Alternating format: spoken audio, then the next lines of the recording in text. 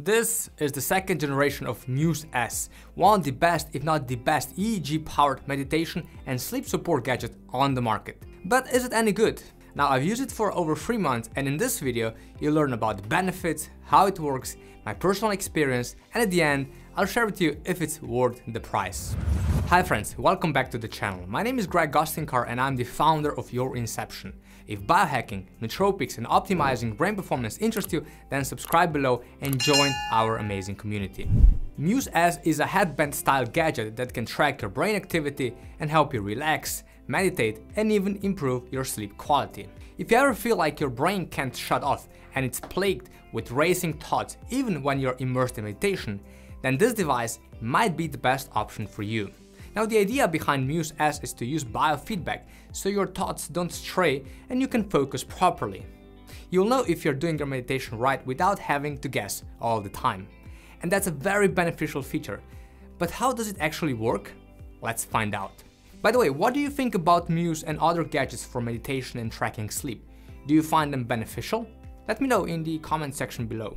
So, Muse gives real-time feedback in four aspects. Heart rate, breathing, body movements and brain activity. The device consists of the soft headband and a removable brain pod, which you assemble together and firmly place on your forehead. Once you put this around your head, the device will track EEG to provide feedback that can help you train your brain. Now what's interesting is that Muse can also act as a sleep helper in addition to helping you improve your meditation practice. You can control all of the activities via the app which is very simple to use and intuitive. So what benefits can you expect from Muse?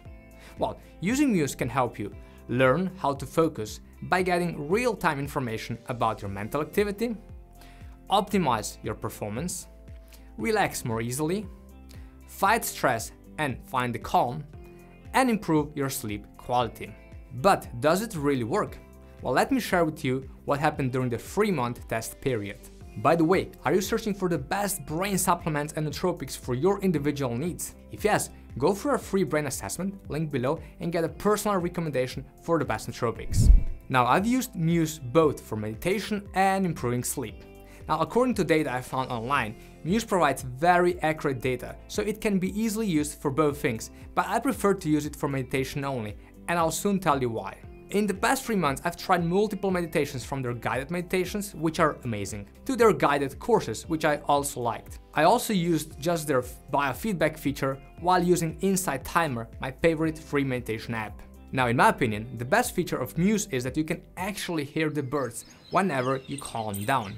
Basically, Muse tracks your mind activity, and your mind can either be active, not good, neutral, alright, or calm, that's what we want.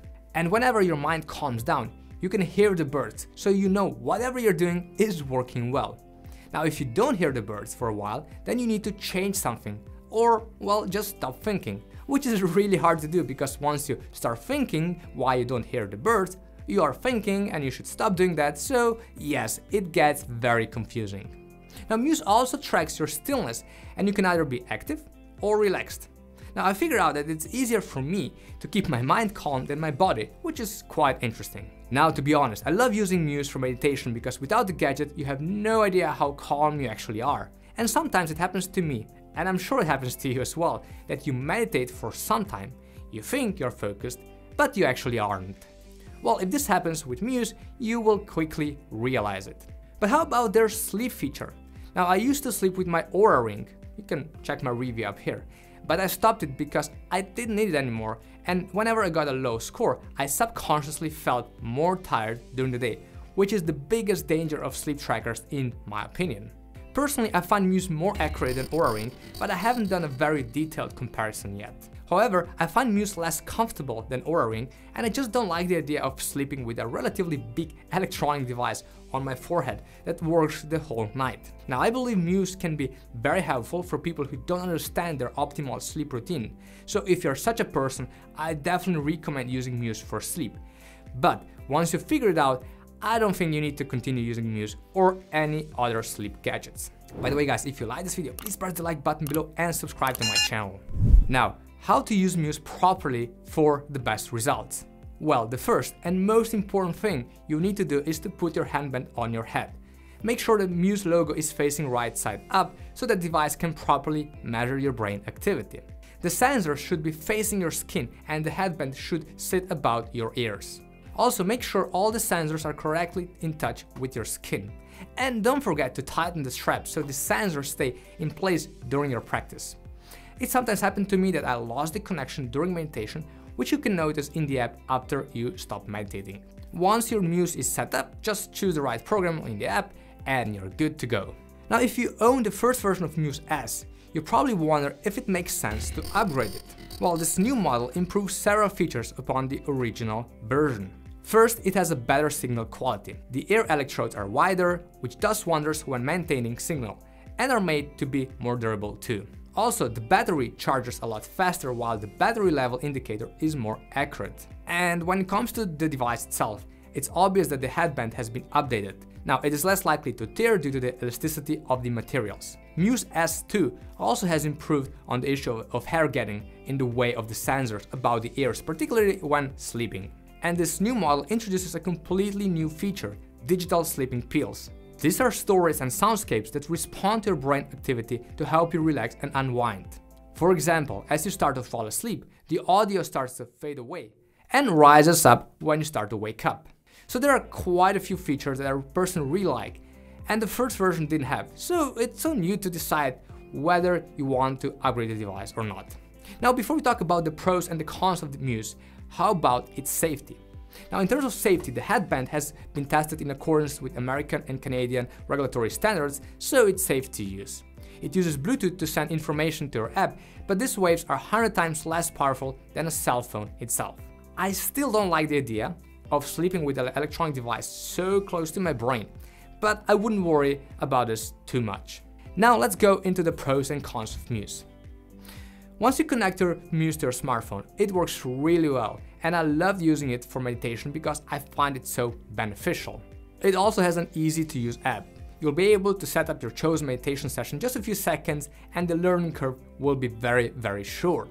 The gadget is lightweight and comfortable, made of durable materials that are meant to last for years. The use of spandex allows for less wear and tear and make the device more adaptable. And the battery is durable, as it can last for up to 10 hours of continued use. It is also fast to charge, it only takes about 3 hours. Now on the negative side, I sometimes had issues connecting Muse to my smartphone. Or, to be more precise, I connected the device quite quickly, but the calibration time, which usually takes up to 10 seconds, was sometimes much longer. Now and then I even had to close the app or even turn off the device to make it work. Now what I figured out is that the gadget needs to be quite tight on your forehead and you need to tighten it after a few weeks of use. Apart from that, I didn't have any issues with Muse in the last 3 months. Now one more thing I don't like about Muse is that besides paying just less than $400 for the device, you need to additionally pay about 10 to $13 per month for all the premium app features, such as biofeedback, etc. So this makes meditation quite a serious hobby and it's not for everyone. So to my verdict, do I recommend Muse or not? Well, I think Muse is great for people who love meditating but have distracted minds, want to learn how to tune everything out, would like to become more self-aware during the day and not only during meditations, want to get relief from their busy minds, have trouble sleeping and would like to improve the quality of their rest time, and want to track their progress and see how much they improve over time. So if that's you, then I definitely recommend buying Muse. At the price of just below $400, it's not the cheapest gadget on the market, but if you use my link below, you'll get an additional 10% discount, so go for it. And if you want to know what happened to my brain after 30 days of daily meditation, check out my video here. Thank you guys for watching and I hope to see you soon again. Stay well.